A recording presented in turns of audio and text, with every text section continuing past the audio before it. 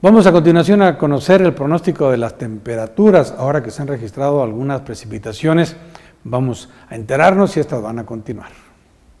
Al estado de Chihuahua llegó un invitado que trajo lluvias y un notable descenso en las temperaturas. Es el Frente Frío número 8 proveniente del Golfo de México. La temperatura más helada que se sintió fue de 5 grados centígrados y la más alta de 16. Según el sistema meteorológico, la condición climática actual se mantendrá así durante 24 horas más.